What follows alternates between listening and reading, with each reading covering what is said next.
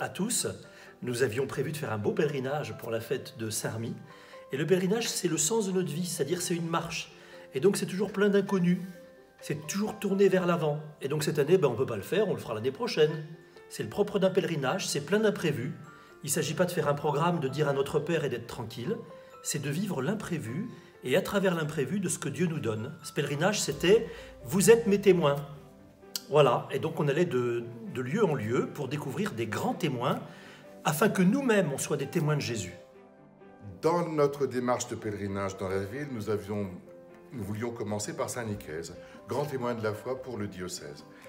Et nous avions aussi invité justement des personnes, une personne en tous les cas, qui avait été baptisée elle-même dans le diocèse l'année dernière. Mais c'est aussi l'occasion pour chacun d'entre nous de nous inviter à vivre de notre baptême, c'est-à-dire que comprendre qui est le Christ, l'accueillir dans nos vies, en vivre et le témoigner.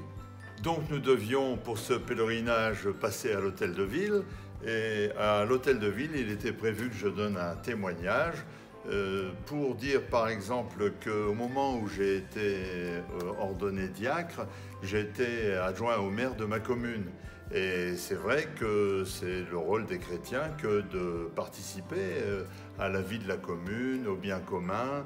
Euh, encore une chose, c'est que euh, dans la mission diocésaine, nous allons chez les gens et c'est une merveille que d'aller rencontrer les gens chez eux puisqu'on ne les voit plus trop souvent à la messe. Écoute notre prière, Seigneur, pour que notre ville et notre diocèse soient embrasés d'amour, d'unité et de paix. Écoute notre prière, Seigneur. Alors à la cathédrale, nous avions prévu d'évoquer Jeanne d'Arc à 100 ans de sa canonisation, avec le témoignage de Patrick Demouy et de Jean-François Boulanger. Nous dire au fond qu'est-ce que cette figure de Jeanne d'Arc nous touche, euh, en quoi elle nous touche aujourd'hui? Et c'est vrai que c'était une personne qui était vraiment, euh, vraiment attachée à faire la paix dans le royaume de France.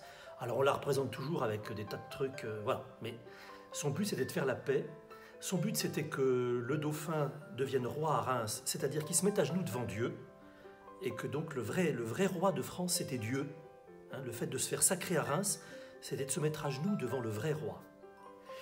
Et donc Jeanne d'Arc, c'est ça, Dieu premier servi, et, et, ce témoignage, il est à notre portée, ainsi que le témoignage de la paix. Béni sois-tu Seigneur pour les témoignages rendus par Saint Rémy et par Sainte Jeanne d'Arc face aux puissants de ce monde l'avant-dernière étape, donc c'était l'école Saint-Jean-Baptiste de la salle, juste à côté. Et là, euh, bah, Saint-Jean-Baptiste, c'est le patron des éducateurs. Et alors, nous, aurons, nous rencontrerons justement des éducateurs de des écoles privées.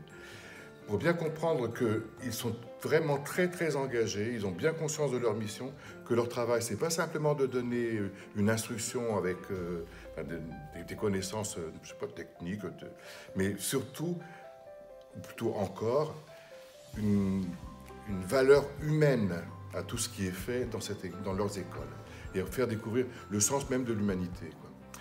Comme ça, Jean-Baptiste de la Salle l'a fait à son époque. Donc on est parti de Saint-Nicaise, on arrive à Saint-Remy et c'est l'occasion de se rassembler avec tous les chrétiens du diocèse qui le voudront pour célébrer euh, ce grand saint et euh, la vie d'un diocèse qui essaye d'affronter aussi euh, les questions de, de, de Covid-19 et de la mission et sur laquelle nous poursuivrons.